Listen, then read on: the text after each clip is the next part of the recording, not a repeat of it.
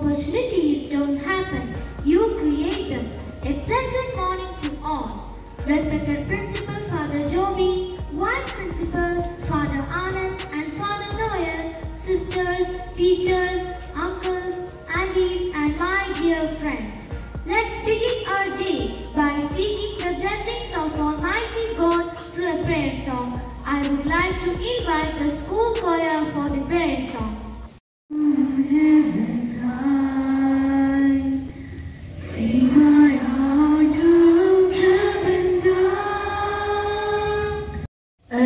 From the book of Joshua, chapter 1, verses 9. Have I not commanded you? Be strong and courageous.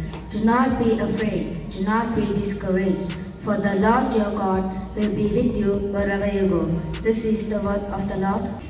Now, I would like to invite Virat to say the thought.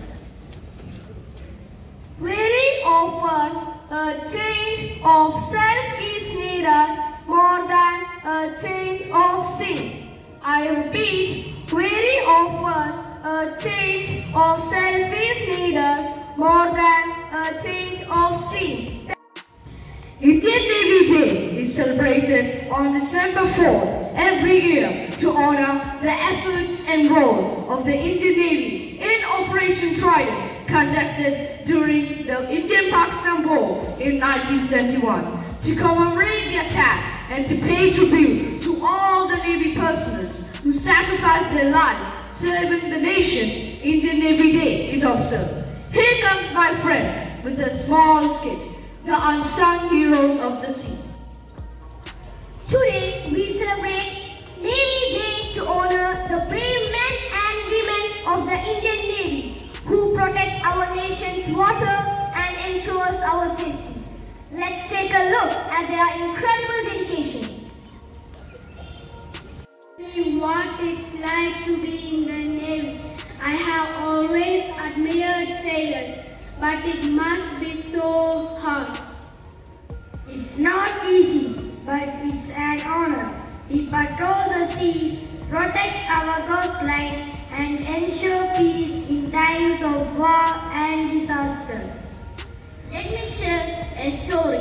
During the 1971 war, we launched Operation Trident and trained we changed the course of history. That's why every day is celebrated on December 4th. Wow, you are true heroes. Thank you for keeping our country safe. That day, we sailed into enemy's waters with courage.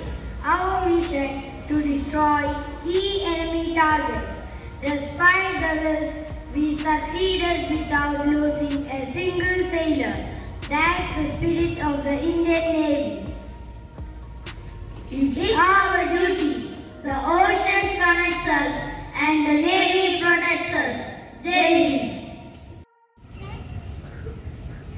Thank you, Father, for your instructions and thank you, ma'am, for your appreciation and for the valuable information you have shared. It's time to express our gratitude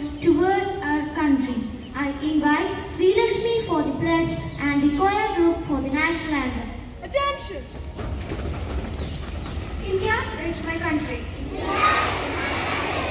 All Indians are. All Indians are.